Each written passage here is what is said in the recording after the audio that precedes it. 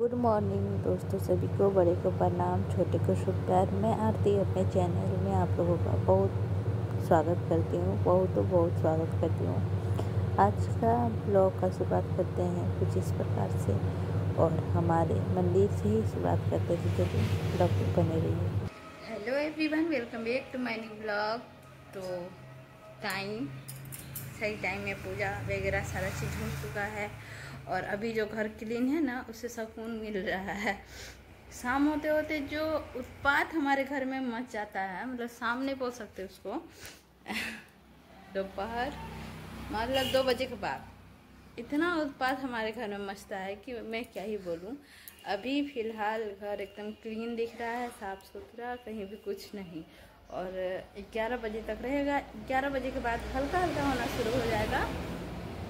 इसके बाद क्या होगा? मतलब उसको बोला जाता है ना, दो बजे के बाद पूरा उत्पात हो जाएगा। बच्चे लोग थोड़ा बदमाशी करते हैं। उन लोग का खिलौना आज खुद समेटा है, मेरा बाबू। छोटे वाला, बड़ा वाला नहीं समेटा है। नहीं खेलेंगे, नहीं समेटेंगे। लेकिन खेलने के समय आगे रहेगा। छोटा वाला से झगड़ा करके खेलेगा। और बड़ा वाला, क्या ही बोल सकते हैं उसको? और छोटा वाला अपना सारा खिलौना समेट के स्कूल गया है। मम्मी कुछ नहीं फेंकेगी। कल ही हम बोल दिए थे, यदि इस तरह से बदमाशी तुम लोग करोगे तो हम सारा खिलौना तुम लोग का फेंक देंगे। तो बोला, नहीं, हम सारा खिलौना समेट देंगे, छिपा देंगे, मम्मा। और आज देखते हैं ना, एक थैला में सारी चीज़ भर दिया है। तो अच्छा लग रहा है। चलिए, ब्लॉग कंटिन्यू करेंगे। आप लोग भी बनिएगा और देखते हैं हम कहाँ तक ब्लॉग आज ले जा पा रहे हैं। कल तो नहीं हो पाया था, साढ़े दस बजे के बाद हम ब्लॉग एडिट करके और फिर छोड़ दिए थे और आज देखते हैं फिर कहाँ से ले जाते हैं। रात का ब्लॉग शूट नहीं हो पाता है ना ही सुबह का शूट हो पाता है। कल होगा तो कोशिश करेंगे सुबह और रात का एड करने के लिए। मुँह का छाला अभी तक ठीक नहीं हुआ है और खांसी नॉर्मल है। ज़्यादा भी नहीं है, कम भी नहीं है, लेकिन है। फीवर तो बिल्कुल गायब हो गया, इसलिए हमको खुशी मिल रही है। तबीयत खराब होना ही था तो इधर ही हो गया तो अच्छा हुआ। और उधर होता तो थोड़ा सा लगता। तो चलिए हम्म, रहिए आप लोग ब्लॉग में। पता है दोस्तों कभी कभी ना हमें हर चीज़ को स्वीकार करना पड़ता है। चाहे परिस्थिति चाहे किसी भी मोड़ पे क्यों ना हो। हम ना चाहते हुए भी हर चीज़ को करने के काबिल रखते हैं क्योंकि हमारे लिए शायद वही लिखा हुआ रहता है वही बना हुआ रहता है वही सोचते हैं। हम स्टूडेंट्स लाइफ में हमेशा खुशी से ही सब चीज़ करने का इरादा करते हैं। बट कभी कभी हमारे फैमिली हमारे पेरेंट्स हमारे बच्चे, हमारे आसपास के लोग, समाज के लोग कुछ यूँ ही इस तरह से बातें बनाने शुरू कर देते हैं कि हम उनको सुन करना, अपनी सहनशीलता को सुन, खोने लगते हैं। हमें ये भरोसा ही नहीं रह जाता कि हम कर सकते हैं। ऐसा नहीं है कि फैमिली से ये सब नहीं सुनने को मिलता है। फैमिली से भी हमें बहुत सारी चीज़ों को सुनने को मिलती है। हमारे समाज में बहुत अच्छे सोचने वाले व्यक्ति है और बहुत बुरे सोचने वाले व्यक्ति है, जिसको बुरे और अच्छे की गिनती में नहीं रखा जाता है, क्योंकि ऐसे ऐसे व्यक्ति हमारे सामने आकर कुछ ऐसी बातें बोल कर चले जाएँगे हमारे मुँह के सामने और हम लोग सिर्फ़ देखते ही रह जाएँगे। और या फिर उन्हें कुछ बोलो तो गलत हो जाएँगे और फिर सहन कर लो तो फिर उनके हिसाब से सही हो जाएँगे। लेकिन अब का ज़माना वो नहीं रहा कि हम सहन करके अपने भीतर कुछ कर लें। पहले के ज़माने में औरत को मुँह से बोली तक नहीं निकलती थी। कुछ ना बोलती थी। अब यदि एक वर्ड बोल दी तो फिर बहुत बड़ी, बहुत बोलने वाली लड़की मानी जाती है। कभी कभी हमारे घर में ऐसे व्यक्ति भी होते हैं, जिनके हर बात सुनने के बाद भी आप गलत ही होते हो, कभी सही नहीं होते और कभी कभी तो ऐसा मन करता है कि मैं सबकी फरमाइश पूरी करती हूँ, सिवाय अपनी। ये भी कभी कभी लगने लगता है। हमारा काम अभी सिर्फ़ पढ़ाई पे फोकस करना है, लेकिन जिस हिसाब से सभी लोग की बातें सुनने को मिलती है और जिस हिसाब से सभी की बातें पूरी करने को मिलती है कि मैं क्या ही बोलूँ। और सभी को सभी बच्चे हो या हमारे घर, हमारे हस्बैंड की हो, सभी को सभी चीज़ टाइम पे चाहिए होता है। और देना भी पड़ता है क्योंकि वो मेरा फ़र्ज़ है, मेरा काम है। और यदि लापरवाही कर दी जाए तो शायद ये सही नहीं होगा क्योंकि घर की औरत हम हैं और हमें को ये समझना चाहिए कि हमारे घर के और मेंबर किस प्रकार से रहेंगे, किस तौर तरीके से हमको रखना होगा। पेरेंट्स को पेरेंट्स क्यों कहा गया है? क्योंकि पेरेंट्स का हर हरकत बच्चे सीखते हैं। उनको जो करते हैं ना, वो सब सारी मेच्योरिटी बच्चे के भीतर जाती है। हम अपनी तरफ़ से पूरी कोशिश करते हैं कि अपने बच्चे को सही काबिल बनाएँ, सही मार्गदर्शन दें और इसीलिए इस ज़्यादातर बातें को सहनशीलता में हम बदलते हैं।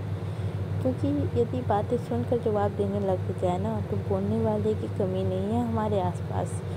तो हमारे इतना ही गुजारिश है हमारे कानों को कि आप सिर्फ़ सुनिए, किसी को नहीं बोलिए। वक्त आपको जवाब ज़रूर देगा और हमारे चेहरे हमें जवाब नहीं देंगे। हमारे मतलब हमारे मुँह से जवाब नहीं निकलेगा बल्कि आपको खुद वो जवाब सुनने की आदत पड़ जाएँगे। हमें इतना काबिल बना दे, देंगे कि आप खुद ही उस जवाब का अर्थ खुद ही खुद समझ जाइएगा कि ये क्या है। बस, अपने कानों से ये गुजारिश है कि आप सिर्फ़ सुनिए, वक्त खुद जवाब दे देगा।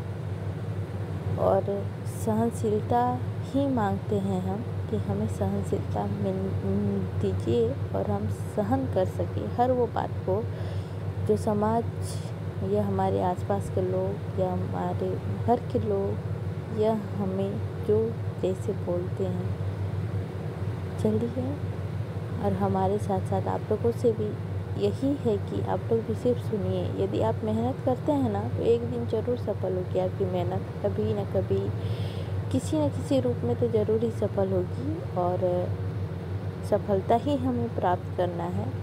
यूँ ही अपनी ज़िंदगी को कहीं भी नहीं छोड़ना है। बीच मुकाम पर तो हर किसी नहीं हमें सफलता चाहिए और सफलता को प्राप्त भी हमें को करना है।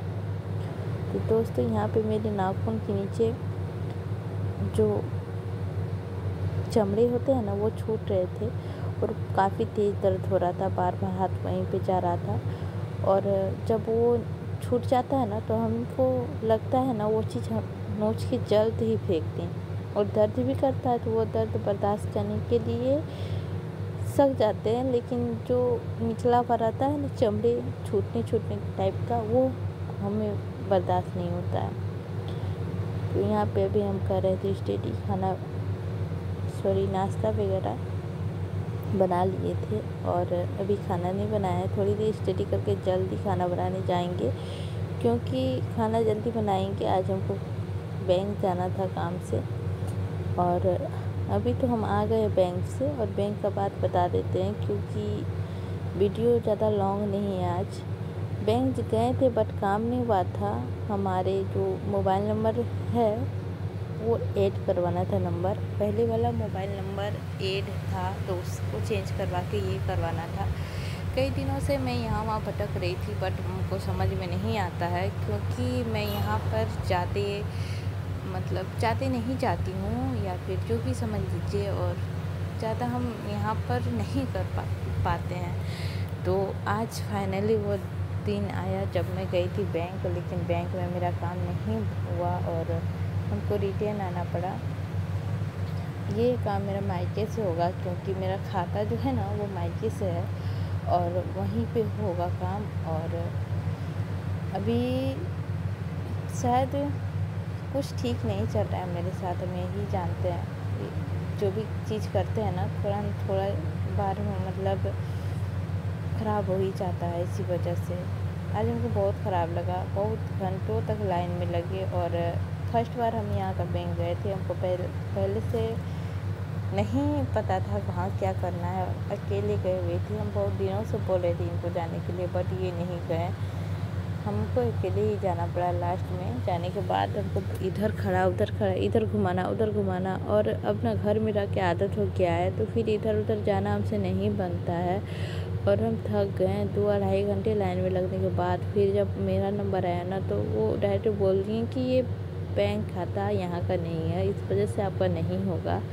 ये कहाँ का है? तो फिर हम बताएँ यहाँ का है तो फिर वो बोले, वहाँ जाके आप चेंज करवाइएगा तो आपका हो जाएगा।